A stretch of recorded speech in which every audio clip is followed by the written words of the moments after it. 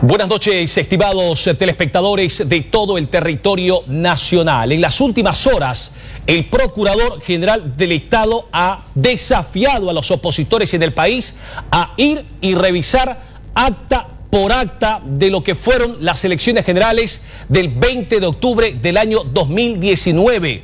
Wilfredo Chávez dice que el gobierno y el movimiento al socialismo quieren demostrarle a la oposición que no existió fraude electoral, razón por la cual están dispuestos a revisar acta por acta con los opositores y así referirse finalmente a esta situación.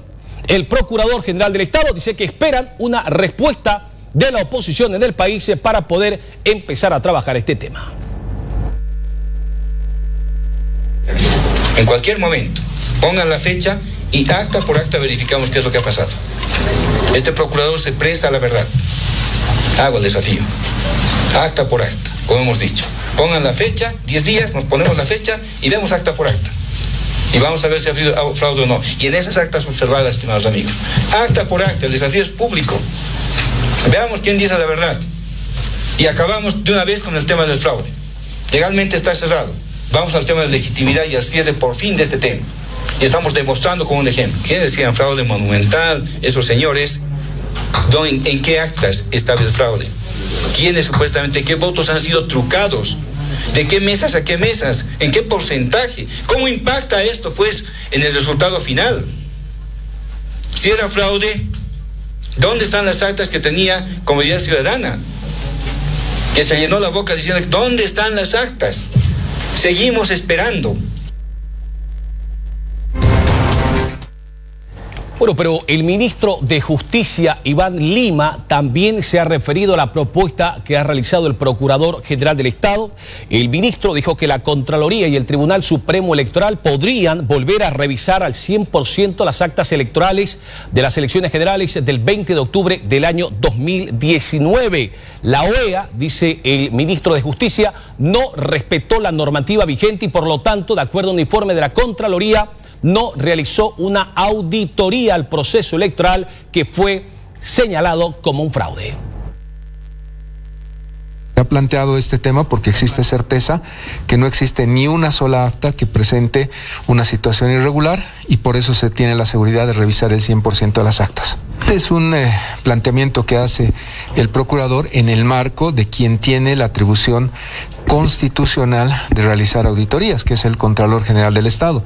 Definitivamente, si no ha hecho una auditoría a la OEA, quien podría hacer una auditoría ahora es eh, la Contraloría, en la medida en la que coordine con el Tribunal Electoral. Lo ha planteado en esos términos constitucionales. El acuerdo con la OEA decía que teníamos que ajustarnos a la normativa legal boliviana. La OEA no ha respetado la normativa legal boliviana, ya lo ha dicho el Contralor. Nosotros somos respetuosos de ese procedimiento y ello implica que ejerzan atribuciones órganos constitucionales, Contraloría y Tribunal Electoral.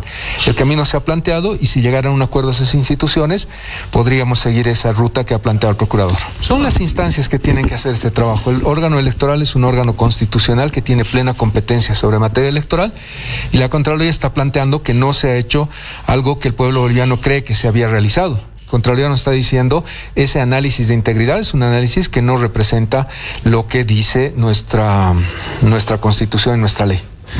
Ese es el escenario que tenemos, es un escenario que tiene que ir desarrollándose.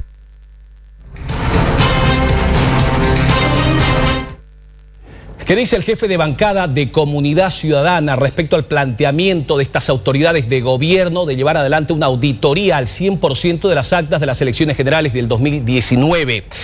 Carlos Alarcón dijo que es un absurdo jurídico el que el MAS quiera o proponga una auditoría jurídica a las actas electorales de las elecciones que fueron calificadas eh, por algunos sectores del país eh, como un fraude electoral. Dijo que hay un principio de preclusión, razón por la cual esto no corresponde. Jurídico es un absurdo internacional. Eh, como le digo, primero porque además no tiene ninguna competencia para meterse en este tema del procurador. Lo, que le digo, le falta ser director técnico de la selección nacional, porque se entromete, se mete en todo lo que no le corresponde. Que haga bien su trabajo y que se preocupe además de su designación, que es ilegal, porque no cumple un requisito. Pero el tema de fondo es ese hay un acuerdo internacional donde el Estado boliviano ha comprometido su fe internacional y tiene que respetar y cumplir los resultados de esa auditoría, primer punto. Segundo punto, hay dos leyes que de alguna manera están en coherencia y consonancia con ese informe de auditoría, gracias a las cuales hemos tenido las elecciones del 2020. Entonces, ¿qué? ¿Ahora pretenden negar las elecciones del año 2020? ¿Pretenden negar al actual gobierno del señor Luis Arce? Del cual es fruto el procurador, porque tengo entendido que ilegalmente, pero lo ha mencionado el señor Arce Catacora, al procurador. Entonces, ¿qué, ¿qué es lo que están planteando?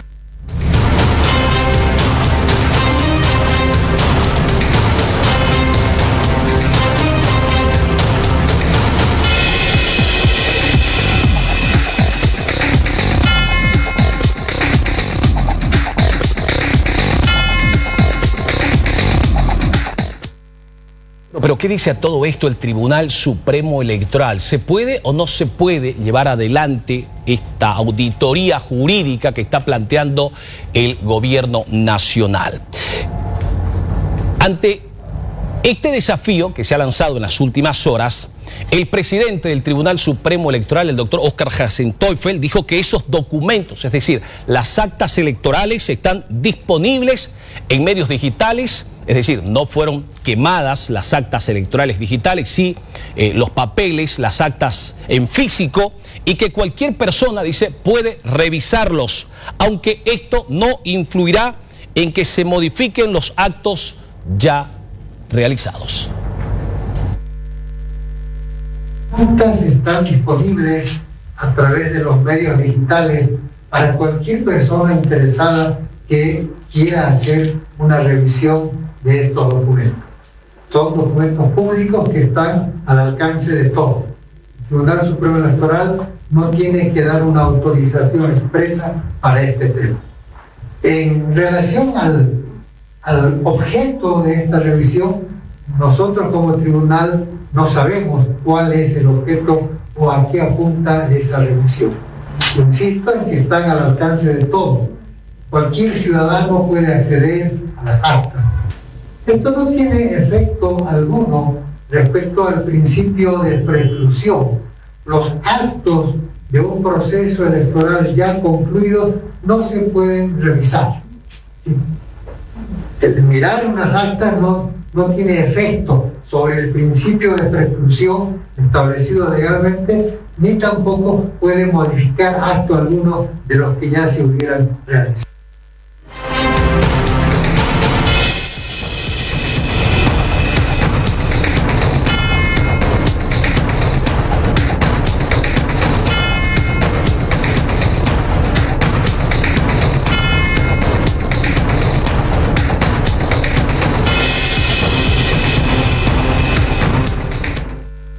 Bueno, pero el vicepresidente del Comité Pro Santa Cruz, don Fernando Laracha, ha dicho que, o ha calificado más bien a don Wilfredo Chávez, que fue el que inicialmente lanzó el desafío de llevar adelante una auditoría jurídica al 100% de las actas electorales de las elecciones del 2019. Lo ha llamado y lo ha calificado como un payaso.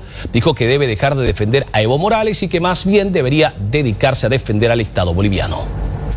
A ver, Primero, el abogado Evo Morales, que hoy funge como funcionario del Estado, debe entender por su profesión de que los acuerdos internacionales están hechos para cumplirse, no para discutirse. El Estado boliviano, durante la gestión de Evo Morales, firmó un acuerdo con la Organización de Estados Americanos para que se haga eh, la auditoría a, a, las elecciones del fraude del 2019. Los resultados están. Son vinculantes porque así lo firmó el Estado. El señor procurador no tiene nada que hacer, y mucho menos informar, y peor, desconocer un acuerdo, un informe fruto de un acuerdo internacional, por un lado. Por otro lado, ¿cuáles son las actas que va a revisar? ¿Las que imprimió el Cesaconeta? ¿Las que se quemaron? ¿Las de qué fraude? ¿Las del 2019? ¿Las del 2016? ¿Las del 2020? ¿De qué estamos hablando? Que no sea payaso y se ponga a trabajar por el país en vez de estar buscando protagonismo este señor. Esa es otra gran pregunta, ¿no? O sea, eh, qué, cuál es la función de este señor. Si no tiene la capacidad de, ir a Estados Unidos a hacer seguimiento al caso de Murillo y tiene que contratar abogados internacionales, ¿acaso su función no es defender los intereses del Estado? ¿Por qué no está preocupado por el crédito que se le da a una entidad financiera privada con fondos del Estado boliviano, fondos de todos los bolivianos? O sea, al final de cuentas lo que hace los funcionarios de gobierno es trabajar para el, movimiento socialismo, para su jefazo. No es deprimente, no es lamentable, es deprimente, es triste, es vergonzoso.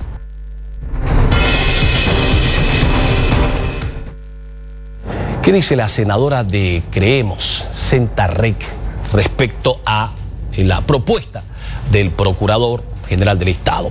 Sentarrec dijo que Wilfredo Chávez es el abogado fue el abogado de Evo Morales, considera que está haciendo el ridículo internacional por defender al jefe de su partido político, dijo que es una vergüenza que no se cumpla con la auditoría de la OEA, una auditoría que además es vinculante. La verdad que ya es una vergüenza que las personas que asumen funciones públicas en este momento negro de nuestra historia se dediquen a defender al expresidente Evo Morales y no a Bolivia. El procurador va a hacer el ridículo como hicieron todas las personas que representaron eh, a Bolivia en esta función extraordinaria que se pidió, donde 35 países independientes, solo tres que son afines al, al, movimiento al socialismo, hablaron, generaron diatribas, insultos y tampoco ninguna base jurídica. Los demás países tenían sustento para todo lo que fue la auditoría de la OEA. La auditoría de la OEA es algo serio, están especializados en hacer auditoría, siguen en realidad normas internacionales y no sé qué se estará fabricando el procurador, pero yo le pediría, a todos los bolivianos le pedimos, dejen de obstinarse con esta situación que no está haciendo más que generar mayor problemas en nuestro país y además un ridículo a nivel internacional, porque no es correcto que un procurador se dedique a un tema como este. Él no es auditor, era el abogado de Evo Morales, pues, ¿no? El abogado. Este, todo el mundo lo sabe y no debió haber sido procurador justamente por eso, pero todo en Bolivia está hecho a contramano.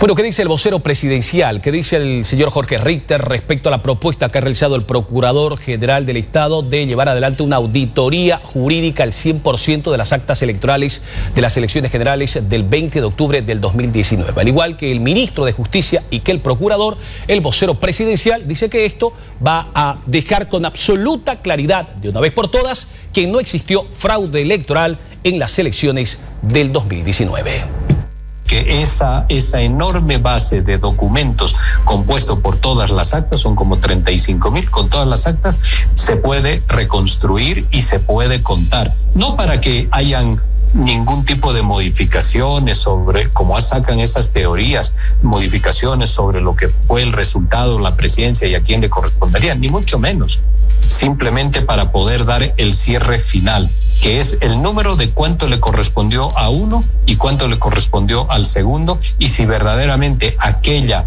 eh, tan sonada referencia y narrativa del fraude que no lo pudieron demostrar hubiese sido efectiva. Esto podría bien recogerlo la gente comunidad ciudadana en un hecho inmediato, hubiese sido absolutamente importante.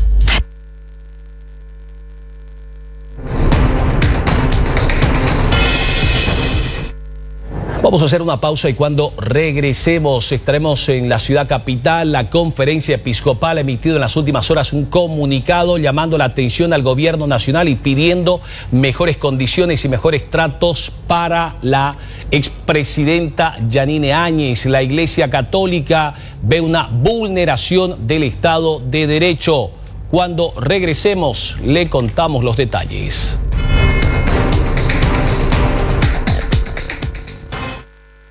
Aduana informa. Del 21 al 27 de agosto. Bolsas de harina, cerveza y otros de procedencia extranjera fueron comisados en Tarija. Bardos de prendería fueron comisados en Cochabamba. Se comisaron celulares y prendería nueva en Oruro. En la ciudad de Riberalta se halló un depósito que contenía jugos aves, sidra el valle, cerveza brasilera y otros. La aduana nacional comisó más de 326 millones de mercancía de contrabando en lo que va del año. Trabajamos por la reactivación económica. Estamos saliendo adelante. Eres parte de la transformación digital. Cuando decides perderte sin rumbo en nuestro país con la confianza de que estás conectado. Cuando puedes estar en cualquier parte del mundo desde la comodidad de tu casa. Cuando contribuyes para el desarrollo de nuestro país. En el aniversario de los bolivianos, buscamos la transformación y crecer de la mano, brindando cobertura real para todos los bolivianos. En TEL, somos transformación digital. ¿Tus ojos están rojos por la sequedad y la irritación? Aquablan descongestiona y humecta los ojos secos e irritados.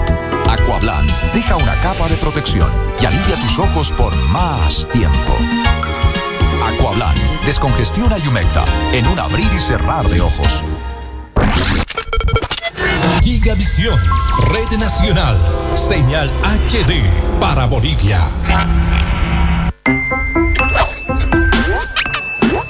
Pancho, te huelen horrible los pies.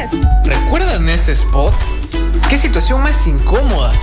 Me olían los pies. Desde que uso Dr. Bell Talco, esto ya no es un problema. La exclusiva formulación de Dr. Bell Talco con Tecalat controla rápidamente los microorganismos causantes de la transpiración y el mal olor, protegiendo por 24 horas. Dr. Bell, el especialista en el cuidado de los pies.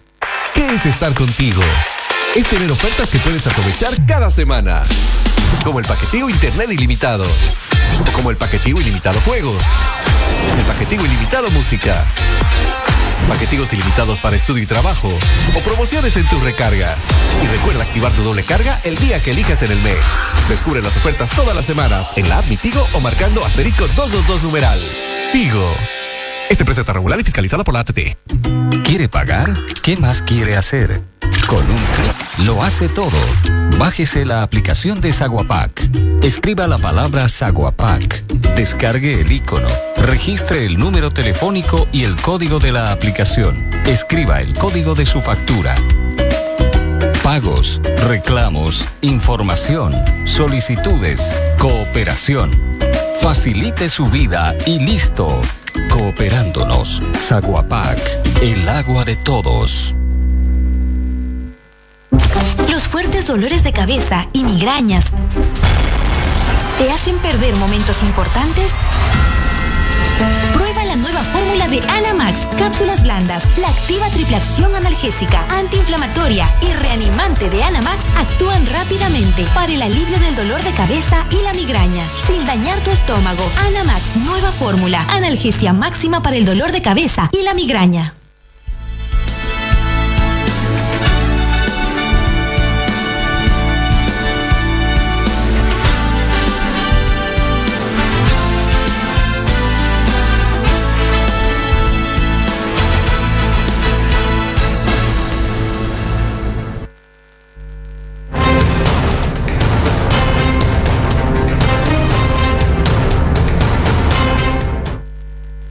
Vamos a la ciudad capital. La conferencia episcopal en las últimas horas ha emitido un pronunciamiento respecto al estado de la expresidenta Yanine Áñez. Vamos a dar lectura a este comunicado que de alguna manera llama la atención al trato que está dándole el gobierno nacional. Comunicado de los obispos de Bolivia, justicia y vida digna, dice el título de esta misiva. El Señor ama la justicia y no abandona a quienes le son fieles, dice. En fidelidad a nuestra misión de pastores y a la luz de la palabra de Dios, queremos expresar nuestra preocupación y dar nuestro aporte ante la deplorable situación de los derechos humanos y la manipulación de la administración de la justicia que se vive en nuestro país en los últimos tiempos. Hechos que han causado tensiones y divisiones en la población y han sumido en el dolor a tantas personas. Vulneración del Estado de Derecho, dice el título. Este conocimiento público, el desconocimiento del conjunto de derechos y libertades en democracia propio de un Estado de Derecho por parte del sistema judiciario que ha pasado a ser una herramienta de revancha en manos de los que detentan el poder desconociendo la independencia de poderes, dañando gravemente la democracia y causando indefensión y sufrimiento en tantos ciudadanos. En un país democrático no es aceptable que entre el 70 y 75% de la población carcelaria se halle sin sentencia y privada de libertad a menudo en condiciones infrahumanas. Lo señalaba ya el Papa Francisco en su visita a Bolivia en 2015, cuando se solidarizó con los presos que sufrían a causa del hacinamiento, la lentitud de la justicia, la violencia, la falta de terapias ocupacionales y de políticas de rehabilitación. No olvidemos, dicen los obispos de la conferencia episcopal, que la vida y la dignidad de toda persona son derechos humanos fundamentales e inalienables y que todos debemos respeto y sumisión a la verdad de los derechos. En el título Derecho a la Libertad o Derecho a la Defensa en Libertad dice, en referencia al caso de la señora Yanine Áñez, expresidente de Bolivia, su situación es especialmente preocupante, dice la conferencia episcopal, por la evidente conculcación de su derecho a defenderse en libertad y al debido proceso, además del trato falto de piedad recibido. No se puede seguir ignorando los derechos fundamentales reconocidos por nuestra Constitución y pasar por alto el principio de presunción de inocencia, menos aún usarlo arbitrariamente. Todos tienen el derecho al respeto de su dignidad y su vida, incluso quienes están cumpliendo una pena aplicada de modo justo. El Papa Francisco en su mensaje recordaba al personal carcelario que su tarea es de levantar y no rebajar. De Vamos a seguir con el siguiente documento, por favor. De dignificar y no humillar, de animar y no afligir. Esto supone dejar una lógica de buenos y malos para pasar a una lógica centrada en la persona. Un proceso así vivido nos dignifica nos anima y nos levanta a todos, dice. En la conferencia episcopal habla también de la reforma del sistema judicial y hace un llamado a la reconciliación y la paz. Los obispos de Bolivia, dice el documento que ha sido emitido la jornada de este día lunes.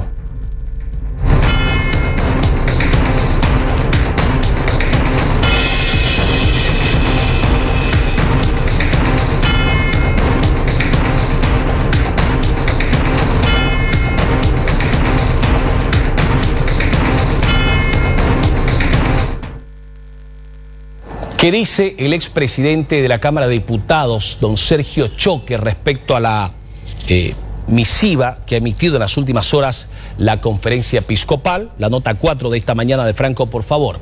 El diputado Beto Astorga, vamos primero con la oposición, el diputado Beto Astorga se ha referido al mensaje de la conferencia episcopal. Comunidad Ciudadana ha ratificado su apoyo y respaldo a esta misiva que se ha hecho pública la jornada de este día lunes. Muy lamentable lo que está ocurriendo. Todos están sumando y están pidiendo de que exista eh, nuevos eh, fiscales, nuevos jueces, ya que lamentablemente el movimiento al socialismo está utilizando a estos jueces serviles al más para realizar el linchamiento judicial. Efectivamente, la Iglesia se está sumando a todos estos pedidos de que necesitamos una justicia transparente. Por eso nosotros conjuntamente con la con Creemos, con el CONADE y el Comité Cívico de Santa Cruz estamos exigiendo que se cumplan los consejos de la GIE, que lo más antes posible exista una justicia transparente, que las personas que han sido aprendidas, eh, detenidas, eh, se puedan defender en libertad y al mismo tiempo pues exigimos que también se enjuice y se investigue a Evo Morales como eh, pide la GIE.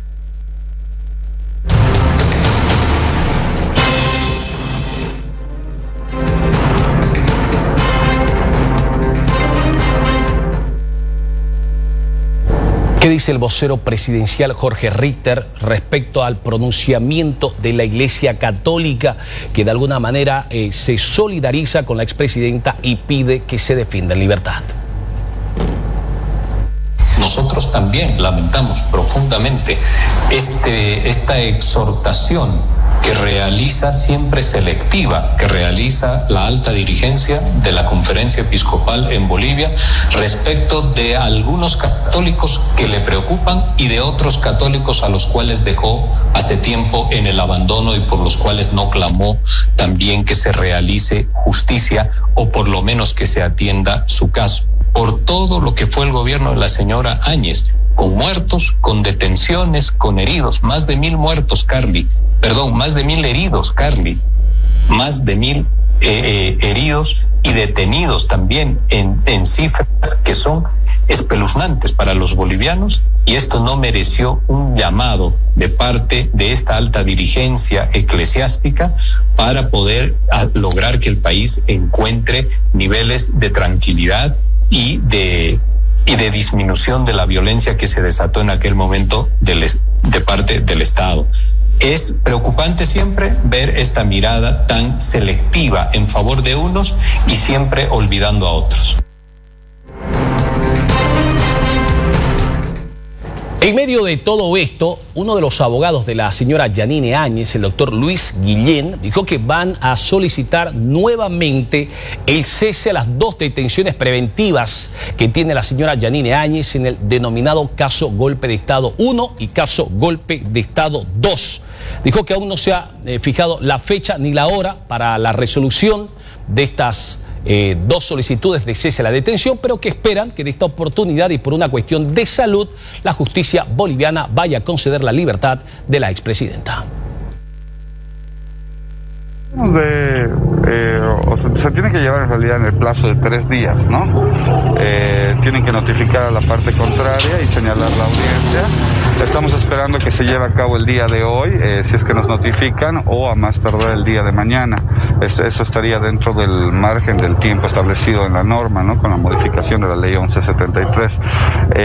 se han presentado los tres certificados médicos, tanto del médico psiquiatra como del médico cardiólogo, como del médico internista, ¿no? Esperamos que la justicia pueda valorarlos de forma objetiva. Entendemos de que existen contrapesos en eh, los certificados médicos por parte del régimen penitenciario, por parte del Instituto de Investigaciones Forenses, existirán otros certificados médicos que digan que la ex mandataria se encuentra estable de salud. Eh, sin embargo, pues eh, la realidad es otra. Efectivamente, nosotros que venimos a verla nos damos cuenta de que no se encuentra bien de salud y es ante esta situación que se debe de de atender y procurar de que la misma sea internada en un hospital, se le pueda hacer los tratamientos adecuados pueda pues asumir su defensa en libertad. Se han solicitado dos cesaciones a la detención preventiva. Estamos hablando de que al haberse fraccionado el proceso, ¿no? el mal llamado golpe 1, que en este caso es el proceso de terrorismo, sedición y conspiración, que ha sido fraccionado por el proceso de resoluciones contrarias a la Constitución e incumplimiento de deberes. En estos dos procesos la exmandataria tiene detención preventiva, por lo tanto debemos acudir a ambas autoridades a efectos que resuelvan.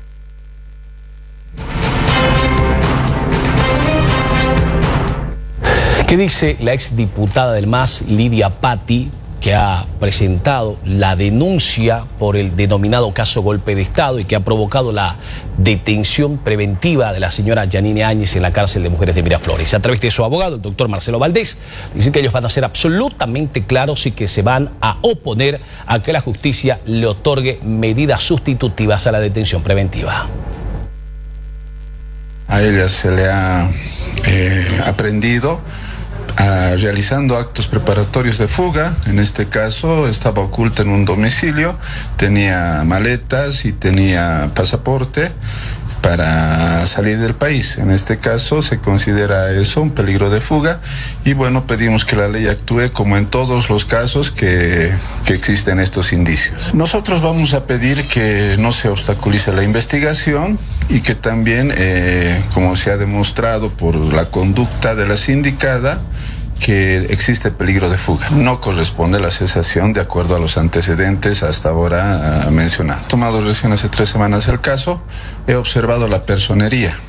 He observado la personería puesto que Janine Áñez no tiene credencial como presidenta. La Fiscalía ha emitido el requerimiento, pero a solicitud de, de la defensa de Julia Patti, nosotros hemos pedido que... Eh, el Tribunal Supremo Electoral certifique si ha cumplido el trámite legal constitucional para la acreditación y si tuviera una credencial de Janine Áñez que se envíe a la Fiscalía en doble ejemplar legalizado. En el requerimiento fiscal establece 48 horas. He ido, hasta el momento no está.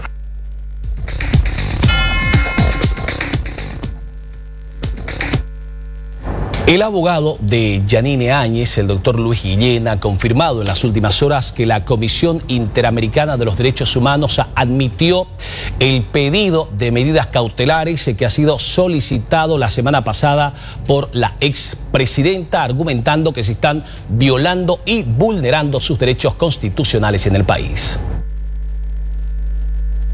Viernes ha llevado a cabo ya una entrevista eh, realizada por la Comisión Interamericana de Derechos Humanos, quienes han accedido a escuchar a Carolina Rivera, eh, les ha manifestado toda sus, eh, su posición y justamente lo que viene viviendo en el transcurso de este tiempo.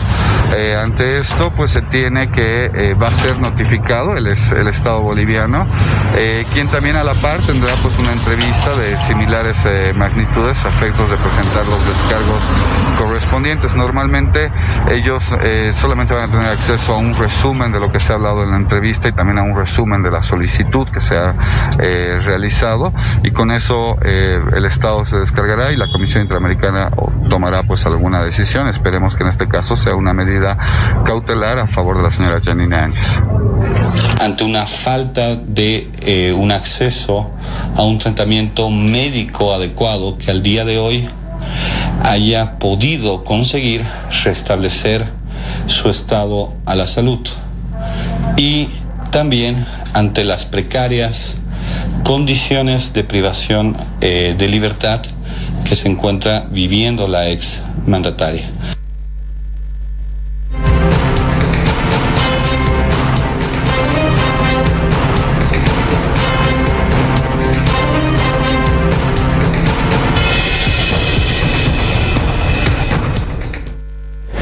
Vamos a hacer una pausa y cuando regresemos, el concejal de Comunidad Ciudadana, Juan Carlos Medrano, y su bancada están pidiendo la destitución del secretario de Autonomías, don José Luis Santiesteban, quien le ofreció puñetes la semana pasada al concejal municipal. Algo está pasando en, en la alcaldía, o don Johnny Fernández los tiene manejando a gritos y a punta de, no sé, pues, ¿no? Porque todos sus o gran parte de sus más estrechos colaboradores están involucrados en, en, en, farras, en fiestas, o es que creen que van a solucionar todo a puñetes, ¿no? Vamos a nombrarles tres casos que se han dado en los últimos 10 días. Cuando regresemos vamos a